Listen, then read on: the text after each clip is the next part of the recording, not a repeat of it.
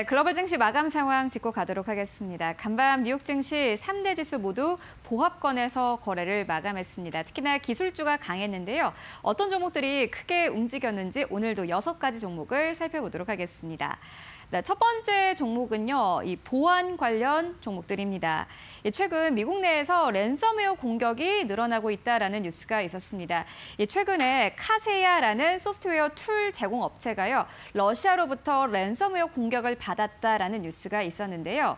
네, 그런데 이 FireEye라는 미국의 사이버 보안 회사가 이 Kaseya의 랜섬웨어 복구를 위해서 협조를 한다라는 뉴스가 있었습니다. 이와 함께 간밤 시장에서 2% 넘게 상승하면서 하면서요. 21달러 선에서 거래를 마감했습니다.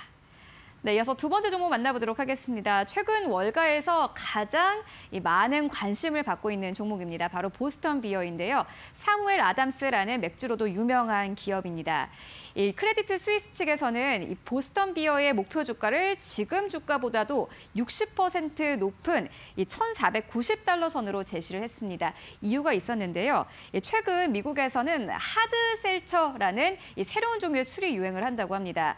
이 술과 이 탄산수 탄산수가 섞인 새로운 맛의 술이라고 하는데 특히나 최근 이 Boston Beer에서 내놓은 Truly Hard Seltzer라는 이 새로운 술이 실적을 이끌 것이다라는 코멘트가 나왔습니다. 이와 함께 Credit Suisse Boston Beer의 투자 의견을 중립에서 이 현재 비중 확대로 상향 조정했습니다. 이와 함께 간밤 시장에서는 3% 넘게 급등했고요. 959달러 선에서 거래를 마감했습니다.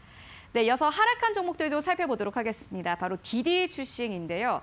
계속해서 우려가 나오고 있습니다. 디디 추싱은 지난주 상장 이후, 이후로 오늘을 기점으로 현재 15% 넘게 급락한 상황입니다. 간밤 시장에서도 5% 넘게 급락을 했는데요.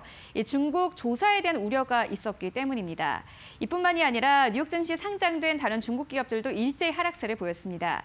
예, 특히나 니오는 8% 넘게 급락을 하면서 거래를 마감했는데요. 하지만 간밤 외신 측에서는 이 니오에 대한 이 긍정적인 기사들을 여러 내놓았습니다. CNBC 한 기사에서는요, 이 디디 출신과 니오는 굉장히 다르다라고 언급을 내놓기도 했습니다. 이 디디 출신은 이 시장을 독점하고 있는 기업이지만 이 니오 같은 경우에는 굉장히 치열한 시장에 있을 뿐더러 유럽에서 돈을 벌어서 중국으로 들어오기 때문에 디디 출신과 같은 조사를 받을 일은 없을 것이다라는 긍정적인 의견을 내놓았습니다. 네, 이어서 다음 종목 만나보도록 하겠습니다. 다이아몬드 백 에너지입니다. 예, 최근 오펙 이슈로 이 계속해서 유가가 좀 하락세를 나타내고 있는데 에너지주들이 일제 하락세를 나타냈습니다. 대본 에너지도 마찬가지로 1% 넘게 하락을 했고요. 이 간밤 시장에서는 다이아몬드 백 에너지가 3% 넘는 급락 흐름을 보였습니다. 예, 최근에 실적이 좋았고 6개월간 55% 넘게 급등했기 때문에 하락 폭도 컸습니다. 3% 넘게 하락하면서요. 87달러 선에서 거래를 마감했습니다. 네, 이어서 마지막 본 종목 만나보도록 하겠습니다. 월풀인데요. 투자 의견이 상향 조정됐습니다.